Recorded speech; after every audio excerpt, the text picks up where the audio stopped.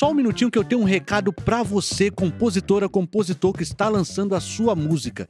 Já pensou se a sua música está realmente convencendo artisticamente? Agora, o canal Musical está oferecendo um serviço de consultoria que pega a sua música, que vai ser analisada por mim e vai ser entregue para você uma análise em documento e uma call, uma, uma chamada comigo direto para falar um pouco sobre a sua música. Ou sobre o seu EP ou álbum, que eu também falo sobre repertório, afinação de conceito e um pouco mais de depuração artística para o que você está fazendo. Coloque sua música no mercado com toda a segurança artística. Se você quiser adquirir esse serviço, é só entrar em contato com a gente por este e-mail que está aparecendo aqui, que a gente manda um Media Kit e aí você escolhe se quer contratar ou não esse serviço. Entre com o pé na porta, com segurança artística e suas composições afinadíssimas.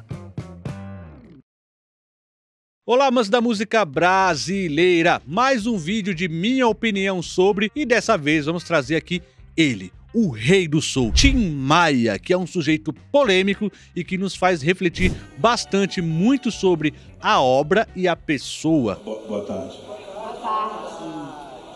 Ainda bem que eu vim para passar o som. Se eu não viesse para passar o som, ficaria muito ruim.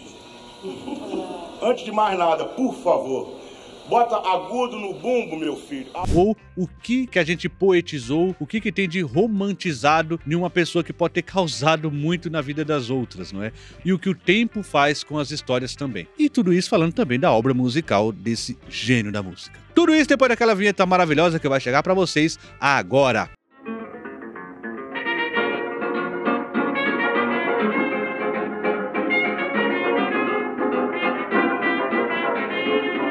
Sempre lembrando a vocês para deixar aquele like, ajuda a gente pra caramba. Se inscreva no canal se você não é inscrito e ative o sininho para as notificações. Considere ser membro aqui do canal, ajuda a gente pra caramba. Agora, não consigo ser membro, Juscelino? Não posso ser membro, tá complicado, né? A grana. Você só comentando no vídeo já ajuda a gente pra caramba, já deixa a gente super feliz. Então, você comentando sobre o Tim Maia, o que você acha da obra do Tim Maia, já nos deixa bastante animado. Agora, não tenho nada para comentar, deixa aquela hashtag famosa que também ajuda a alimentar o vídeo, né? Para deixar o vídeo com bastante engajamento. Você pode botar hashtag Juscelino Síndico. Hashtag Juscelino Síndico. Eu vou chamar o Juscelino Síndico. Esse é mais um da série desses vídeos de opinião, né? Minha opinião sobre determinado artista.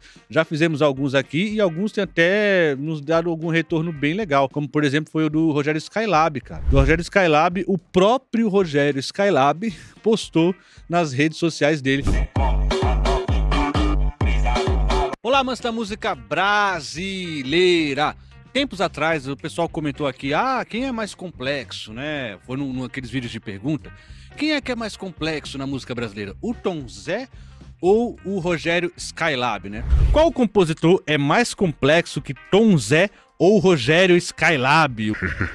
o que dá um aval bom, né? Significa que o artista viu e meio que gostou do lance da opinião. Então, muito legal, cara. Então, vamos continuar esse trabalho aqui sobre opinião, que eu achei no começo que seria uma coisa meio, ah, é meio vazio, né? Que, que importa a minha opinião sobre determinado artista. Só que tá gerando. Então, estamos indo bem. Então, vamos falar ali do, do Rei do Soul, né? O Tim Maia, que eu vou começar por esse título, né? Rei do Soul. E a importância do Tim Maia para a música brasileira é justamente essa: trazer o soul para o Brasil e de uma maneira digna. Alguém que tratou muito bem esse gênero. Inclusive, se o soul, a disco music, teve uma chance muito grande, inclusive, de ser mainstream nos anos 80, que o mercado ficou entre soul e entre rock para os anos 80, acabou escolhendo o rock, né? Isso muito se dá por conta da popularidade de como o Tim Maia tratou o gênero, né? O Tim Maia tratou o gênero muito bem ali com algumas pessoas perto ali, né? O, o Bebeto, Tony Bizarro, o, o, o Wildon, né, o Cassiano, né, grandes assim compositores que também estavam ali perto fazendo aquilo, mas o Tim Maia com certeza foi quem trouxe para si toda essa história do gênero, né? Isso porque ele logo cedo foi uma pessoa impulsiva. E aqui a gente vai tratar um pouquinho da obra e lembrando um pouquinho quem foi o Tim Maia, que é essa pessoa impulsiva, uma pessoa que tinha uma mania de perseguição, que achava que sempre estava sendo prejudicado nas histórias. Por isso que ele é um dos primeiros artistas, cantores a fazer o próprio selo, né, o Seroma, né, a cuidar das edições das suas músicas, a ter todo o controle sobre sua obra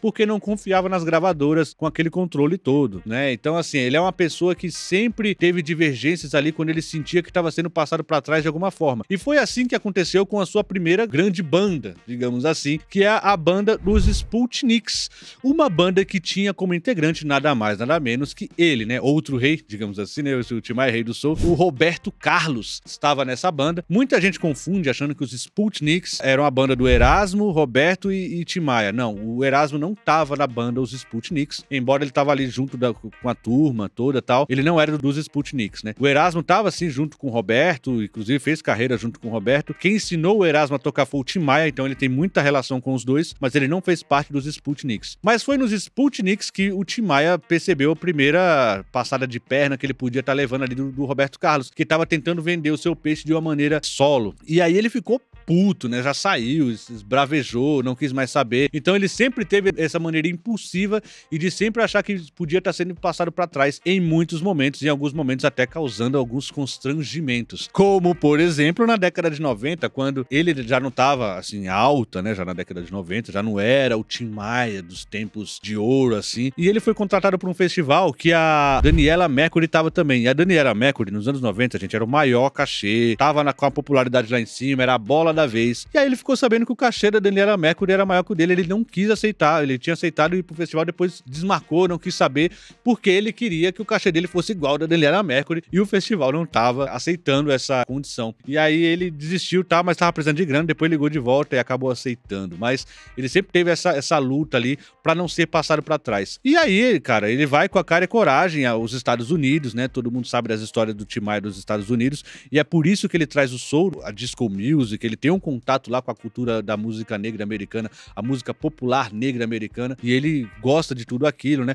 Ele se mete em crencas lá, é preso algumas vezes e é deportado de volta para o Brasil, trazendo na bagagem a soul music, a disco music e uma vontade grande de fazer música e de fazer sucesso. Só que quando ele volta ao Brasil, aqueles que ele achava que estava tentando passar ele para trás, Roberto, Erasmo, estavam fazendo um bruto sucesso. Eles eram grandes artistas aqui e ele falou: porra, beleza, meus amigos são grandes artistas, eu vou ter uma, uma boquinha aqui. Mas, cara, ele não conseguiu chegar com facilidade. E aqui tem uma coisa interessante pra gente contar da história, né? Muita gente fala que o Roberto Carlos foi traíra, que o Roberto Carlos não quis nem saber, só que, cara, chegar no Roberto Carlos naquela época não era fácil. Então o Tim Maia, mesmo sendo amigo da época ali, ele tem que entender que quando ele voltou, o contexto era outro. Roberto Carlos já era outra pessoa. Era um super astro da TV, né? O rei, né? Aquela coisa da Jovem Guarda. Ele era a figura central da Jovem Guarda, então já era muito difícil chegar. Então muita gente fala que, nossa, que o Roberto Carlos virou as costas. Na verdade, demorou pro Tim Maia conseguir chegar no Roberto. E o Roberto ainda ofereceu alguma ajuda. Roberto ainda ofereceu alguma ajuda ali para o Tim Maia, embora algumas histórias, né, que são contadas aí, parece que são verídicas. Como, por exemplo, quando o Roberto fala, dá algum dinheiro aí pro Tim, né? Pro Sebastião, né? E aí o cara amassa um, um dinheiro assim, joga nele assim, de uma maneira bem humilhante. Vai atrás, escuta, escuta, oi, oi, Tião. Eu falei, escuta, tô aqui atrás, Roberto, Roberto, e vai ele e três. Aí eu falei, meu irmão, tô durinho, cara. Eu não tenho dinheiro nem pra voltar. Aí falou, mano, dá um dinheiro aí pro Tião. Mano, pegou 10 mil assim, amassou e fez o. Eu eu tive acesso do show na hora. Eu, Tião, que é isso? Parece que isso rolou mesmo, mas não da parte do Roberto, mas da parte do segurança ali, né? Enfim, o Roberto ele tentou ajudar de uma certa forma, tanto que gravou a música Não Vou Ficar, que também ajudava a impulsionar, né? O Roberto gravar a música sua ajudava a impulsionar a sua carreira. E, independente disso, o Tim Maia fez uma carreira brilhante, é um cara de uma música absurda, de uma discografia bastante irregular. A gente vai chegar daqui a pouquinho lá, mas primeiro eu quero continuar falando sobre essa impulsividade e a graça que tinha o personagem Tim Maia. Por quê? Se você for ler um livro do Nelson Mota chamado Vale Tudo, esse livro é espetacular porque conta diversas dessas histórias. E é lógico, não dá para fazer um vídeo de poucos minutos contando todas essas histórias. Mas é muito interessante porque eram histórias que hoje são muito engraçadas, mas que na época causou muita dor em muita gente, o que nos faz refletir. Nossa, Quantas histórias que você conta hoje rindo, mas que na época dessas histórias você ficou apreensivo? Pensa, O Tim Maia é um cara que ele não ia shows, cara. E isso é uma coisa absurda. Muita gente foi contratada para fazer uma movimentação de um show para ele. E ele não ir, hoje virou uma mítica, né? Hoje virou uma coisa folclórica. Você falar, pô, o Tim Maia não ia pro show, ah, você dá risada. Mas veja, olha quanta gente sofria com isso. Por exemplo, teve um show, se eu não me engano, foi no Canecão, que o Tim Maia de repente não foi. Então, tinha uma galera lá né? Muita gente, Caneco era gigante. Pense quantas pessoas contratadas. Os músicos estavam lá, as meninas da coreografia, tinha policiamento, paramédicos, tinha um pessoal da estrutura, pessoal que montou palco, holds, técnicos de som, técnicos de luz, todo mundo fazendo uma movimentação e por causa da falta de uma pessoa central ali, nada disso iria acontecer. É uma coisa muito absurda. Então os produtores ficaram malucos quando souberam que provavelmente o Tim Maia não via. E eles foram até a casa do Tim Maia. Quando chegaram na casa do Tim Maia, ele recebeu eles absolutamente pelado, ele tava na casa dele e chamou eles pra entrar de boa e tal. E começou a conversar, trocar ideia com eles e falando: Ó, oh, não vou mesmo. É, mas toma aí um cafezinho, vamos tomar alguma coisa e tal. Olha que absurdo, que maluquice. É claro que a história é bastante engraçada, porque hoje há um distanciamento. Acho que mesmo as pessoas, esses produtores, se estiverem vivos, eles que sofreram na época, mesmo hoje, eles devem contar dando risada. Apesar de ter sido um momento bastante difícil para eles, porque imagine como foi depois falar pro público que o Tim Maia não vinha. Deve ter tido quebra-quebra, toda aquela coisa. Então, o Tim Maia tem muito dessa história, né? O que faz o personagem virar folclore. Histórias que realmente machucam, histórias que realmente são pesadas no período, mas que quando passam vão ganhando aquela leveza do tempo e principalmente aquele tempero do tempo, não é? O tempo que faz a coisa ficar folclórica, engraçada e leve. Então, Tim Maia tem muita dessas histórias que você deve pensar, putz, quem tava ali do lado deve ter ficado com muita raiva. E é nessas impulsividades que você encontra as irregularidades do Tim Maia. Por exemplo, é numa impulsividade que surge um dos melhores álbuns do Tim Maia e um dos álbuns mais influenciadores da música brasileira, que é o Racional. Sim, o Racional. Ora, é tão marcante esse disco que não à toa tem uma, um grupo de rap dos mais famosos do Brasil que chama-se Racionais, por conta do Racional, o Universo em Desencanto. E isso se dá por quê? Porque o Tim Maia já estava fazendo as bases de um disco esplendoroso, né? O pessoal da gravadora estava assim, emocionado com aquele material que estava vindo, né? O Tim Maia estava a pleno vapor, fazendo instrumentais absurdos, maravilhosos, só que ele não tinha as letras ainda. Então ele encontra na, na casa, se eu não me engano, do Tibério Gaspar, um livro chamado universo em desencanto, que é dessa filosofia, né? Ou seja, dessa seita racional, tudo, que fala que a gente está magnetizado, que é aquela coisa, né? Se desprenda do mundo material, né? Se, se encontre com o seu verdadeiro eu. Enfim, eu nunca li o lance do universo desencanto, mas tinha uma coisa meio que religiosa, uma coisa de seita, enfim, ou uma coisa de filosofia de vida.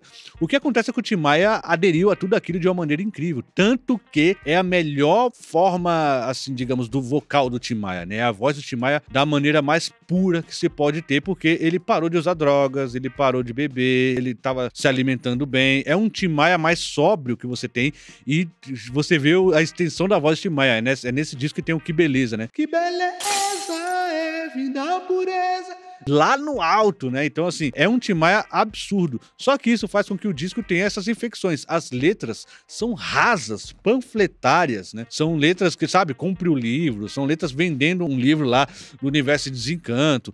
Ou seja, ele também, por conta dessa impulsividade, perdeu o contrato com a gravadora que não quis bancar uma ideia de uma seita desconhecida. Não queria fazer um disco desse. Ele pegou, fez sozinho e o disco foi um fracasso de venda. É claro que hoje o disco ele é bastante cultuado, mas na época foi um fracasso fracasso de venda. E o Tim Maia é tão impossível que assim como ele entrou nessa seita, ele sai também e chuta o balde e esse disco para ele não funciona mais, ele vai fazer outros. A obra do Tim Maia, ela é absurda porque ele é um músico absurdo, ele é um cantor absurdo, ele é um compositor muito bom. Ele sabe o que tá fazendo. Ele faz uma música de uma complexidade rítmica que é o soul, né, a disco music, mas que ele traz uma coisa pro povo, né? Ele dialoga com todo mundo, ele dialoga com o popular, né? E essa, digamos, é, a discografia dele sofre com algumas impulsividades do próprio Tim Maia, mas isso também é uma coisa que não tinha o que fazer, porque você vê que no final da carreira, quando ele lança o Seroma, ele lança bastante disco questionável, né? E é muito por conta dele, já não tá mais na aura de uma, de uma gravadora, já não tá mais sobre a égide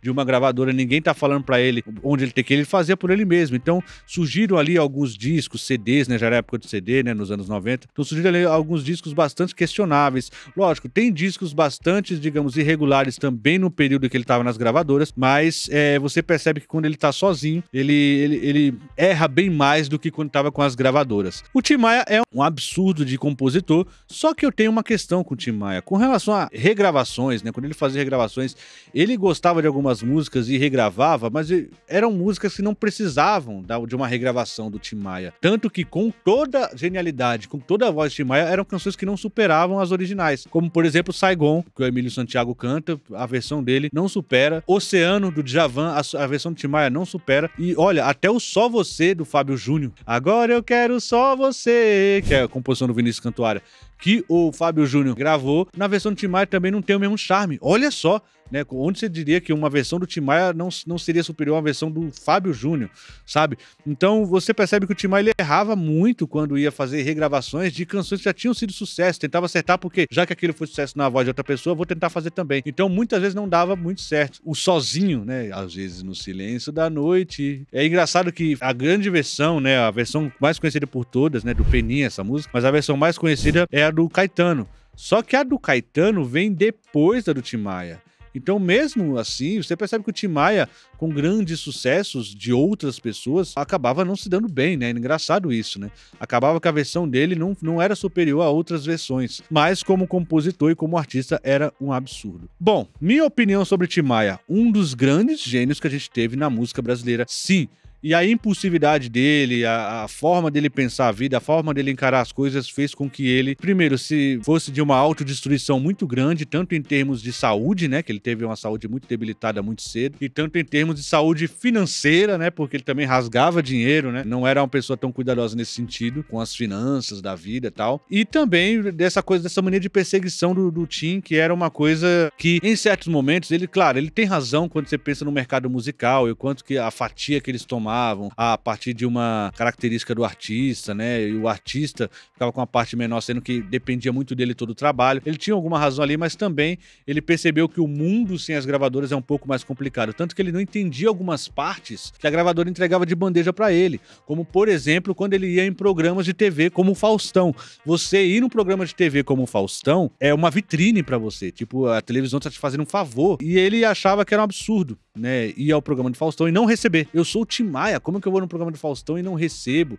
Tenho que pagar meus músicos e não recebo pra estar tá lá. Ele não entendeu que aquele é uma vitrine poderosíssima, não é? Então, assim, tinha alguns, algumas coisas no mercado que o Tim Maia teve que aprender sozinho por conta dessa impulsividade. Dito isso, que lição que a gente tira com o Tim Maia? Primeiro, o quanto o folclore ele é lindo quando você tem um distanciamento de tempo. Hoje as histórias do Tim Maia são feitas para você dar risada, você rir. Eu recomendo fortemente o livro Vale Tudo para quem não leu, do Nelson Mota, porque lá você ri. Você ri do começo ao final da história, mas depois você reflete, nossa, quantas pessoas iam ficar com raiva dessas histórias, porque é a história que causava com as pessoas, não é? Mais que hoje, à luz da história, com o distanciamento histórico, a gente percebe que fica tudo muito engraçado, fica tudo muito leve. O tempo da leveza as coisas. E o Tim Maia, ele tem uma discografia muito boa, mas que em certa medida fica irregular ali. Tem um disco Nuvens que é maravilhoso, tem um Disco Club que é muito bom. Os primeiros do Tim Maia também são ótimos assim. Então assim, você tem ali uma gama de, de discos maravilhosos de um artista que, sim, faz falta, né, esse tipo de artista com essa atitude, menos, mesmo que sejam atitudes que muitas vezes falham ali com, com o sistema que está a favor dele, né, como por exemplo faltar shows, mas é essa coisa, o Bonachan o cara que dá risada, que conta piada na hora errada, o cara que causa. É um artista que faz muita diferença, né? Agora, não adianta nada você causar e não ser um monstro de músico, que era o caso do Tim Maia. Todo mundo só pensa na grana. 70%, 50%, 4, 4 meio, bonitinho, mas quanto deu na portaria? É, aquelas formigas pensando na grana. E graças ao meu bom Deus, eu não tô pensando mais em grana, que eu já tenho um pezinho de meio lá. Meu negócio é só cantar bonitinho. É isso aí, meus amigos. Se você gostou do vídeo, não esqueça de deixar aquele like, ajuda a gente pra caramba. Se inscreva no canal se você não é inscrito, ative o sininho para as notificações e considere ser membro aqui do canal. Vamos deixar aquela hashtag final. Qual que é a hashtag? É Juscelino Maia. Hashtag Juscelino Maia. Se você comentou hashtag Juscelino Síndico, você tava lá no começo, ajudou o canal já. Chegou até o final, Juscelino Maia. Fui até o final, Juscelino. Viu o vídeo inteiro. E aí a gente vai saber que você viu inteiro. Tá bom? Obrigado a todos vocês até a próxima, queridinhos. Até a próxima.